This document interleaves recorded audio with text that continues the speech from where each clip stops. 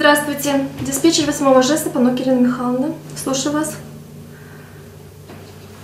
Пожалуйста, домашний адрес назовите. Рабочий день только начался, а Ирина Панок уже зафиксировала пятый вызов. Звонки с сообщениями о том, что в доме пропал свет или необходимо срочно заменить розетку, на телефон диспетчера жилищно-эксплуатационной службы номер 8 УЖРЭП Ленинского района города Гродно сегодня поступают каждые 20 минут. Электромонтер Сергей Янцукевич не успел вернуться на работу, как вновь отправляется на очередное место происшествия. Устроившись э, в ЖЭП Ленинского района, работаю 20 лет, уже с номер 8. Вот. Не жалею ни капельки. Мне работа нравится, устраивает. Вот. Очень хороший коллектив у нас подобрался. Пришел сюда и за 20 лет ни разу об этом не пожалел. Работы много, говорит Сергей. За день бывает до 30 вызовов. Все, что связано со сферой электричества, дело серьезное. Нештатные ситуации зачастую возникают и поздним вечером, и в выходные дни. Бесконфликтный, педантичный, чрезвычайно ответственный, Сергей Янцукевич в лучшем виде выполняет любую порученную ему работу как в рабочее, так и в нерабочее время.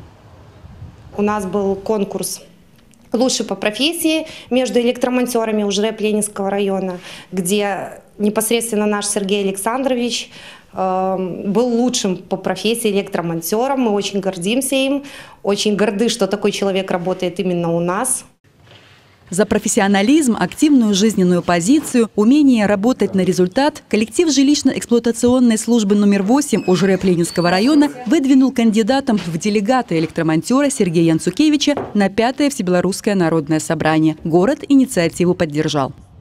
От этого э, мероприятия я ожидаю, что все э, внесенные делегатами предложения будут услышаны, и это благотворно скажется э, на благосостоянии граждан и государства.